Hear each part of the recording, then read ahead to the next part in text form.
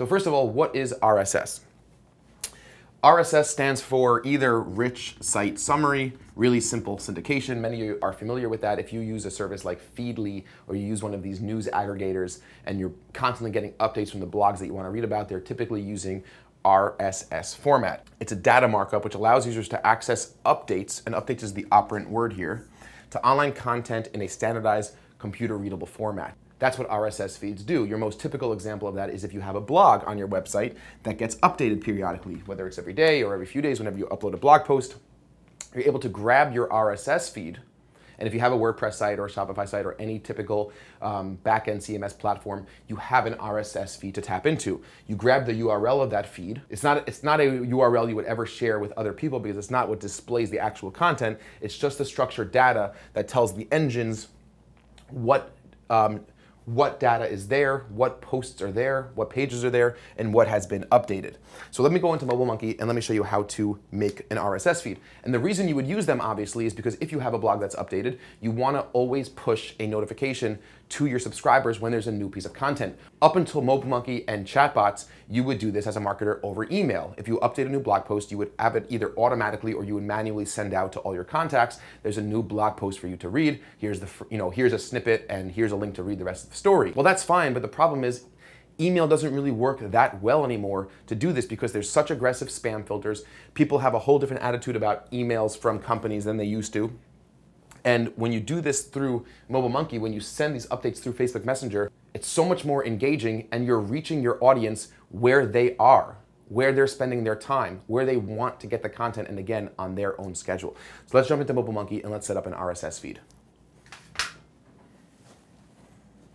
So we go into our marketing and automation section of MobileMonkey and we choose the RSS Blaster. And of course, like at the end of the day, the number one goal of your online journal is to get traffic to your site. That's what every single marketer wants. That's what we're trying to do. The RSS Blaster ensures that happens 10 times more effectively, if not more, than email. Go into your RSS Blaster and you click New RSS Blaster. Before toggling our RSS Blaster to active, I'm gonna name this and I'm gonna call this, let's say, uh, CNN's feed RSS.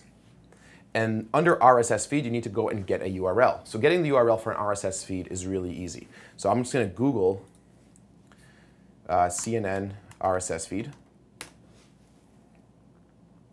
And I could really just copy this URL right here. This is the RSS feed, but I want to show you that you can get some different types of RSS feeds. So if I click on the top link, there's a bunch of different sub RSS feeds that I can get. So I could either get just the top stories, world news, US news, business. So let's say I want to get CNN's business RSS feed. So I'm just going to copy that link. Okay, we're going to copy the link, go back to MobileMonkey, paste the link, paste the link in the RSS feed field, and I have to attach an audience. So I'm going to send this out to all contacts. Once again, think about segmentation. In most cases, you're gonna wanna send your blog updates to all your contacts. I don't see a reason why you would wanna leave anybody out unless you have a big blog and you're pushing lots and lots of updates, and you might only wanna send updates to people who are more engaged with your brand using, let's say, some net promoter score metrics you've built through previous chatbot campaigns. But I'm gonna send it out to all audiences. Once I'm ready to do that, I'm gonna go ahead and click active. And that's all you need to do, right? Now it's saved, it's done. You can go back to your clicked RSS Blaster to go back and you see that I have CNN's feed RSS, it's active. The way this works is RSS feeds in MobileMonkey will be updating every 15 minutes or so. Now that it's active, there's no way to get it to happen faster or slower. It happens on the regular RSS feed schedule. So I'm gonna open up this uh, Facebook page here I have. I made a dummy account for Facebook. I have this dummy account made in Facebook. I'm on Adventure Media Group's Facebook page, and the chat blast and the RSS that we just created is actually attached to Adventure Media's test chatbot. So we should see that RSS feed push a CNN update shortly. I'm gonna go over here to just open up Messenger, and here's just this message from a different chat flow that we were building as a sample. But if I leave this open for a little while, we should get that CNN blast.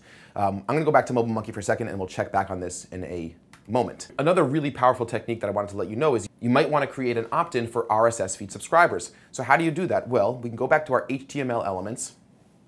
I would add a new HTML element, open up a new link to Messenger, send them to a RSS feed opt-in page, right? So I would go back to my pages, I would create a new page. I would title it RSS feed opt-in. And I would say something like, do you want to opt into our blog updates? And obviously I wouldn't, and I wouldn't probably write it, I would probably write it in a little bit more of a smooth way, but just for the sake of showing this to you. Um, no, wrong, wrong, wrong. We need to do a quick question. So I would title the page RSS feed opt-in. I would add a quick question. I would say, hey there, first name. Do you want to be notified notified when we publish a new blog post, right? And I would answer this. I would make a new attribute called RSS opt-in, and I would add an answer yes, no page, or no, and associated with no page, right? That would be my that would be, that would be my entire RSS feed opt-in uh, process. Wait till it saves.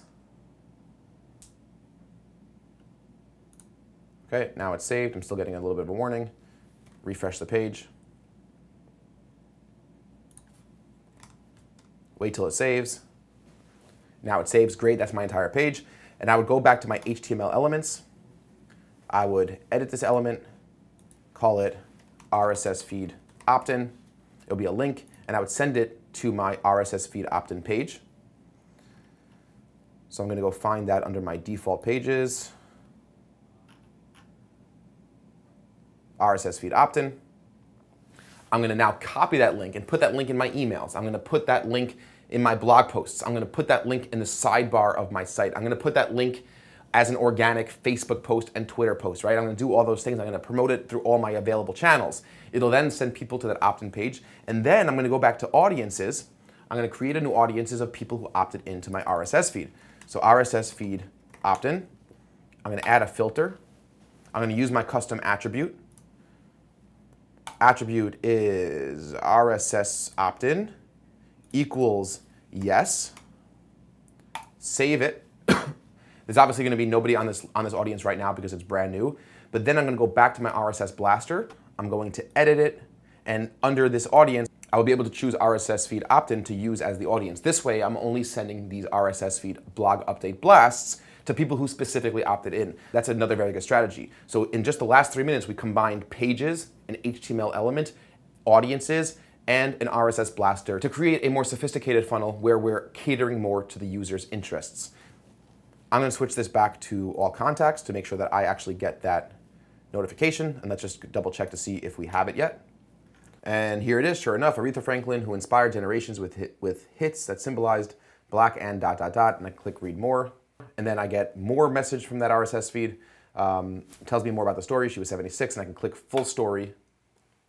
I'll get a link, press enter to hit send, click the link, and I'll be sent to the entire story on CNN.com. So that's a really great way to just get that blog post content, get more reader, users to your website. Uh, just lastly, before we finish off, the way to get your own blog feed is just to Google search your website and say an RSS feed if you don't know how to get that feed. If you have an RSS feed set up, and again, if you're on WordPress or any of these popular CMS systems, you will have one, you'll get that link to your RSS feed, and that's what you'll use in MobileMonkey. It's the simplest, simplest um, part of marketing automation in MobileMonkey. It's really, really easy set up, and it's just one of those things where you set it and forget it. That way, whenever you update a blog, you publish a blog, it'll automatically get pushed to all the contacts on the audience that you chose. Super powerful. It's a way to get people to actually read your content and you will see the engagement rates and the read rates from these RSS feeds are just through the roof compared to what you're doing now, uh, which is basically email.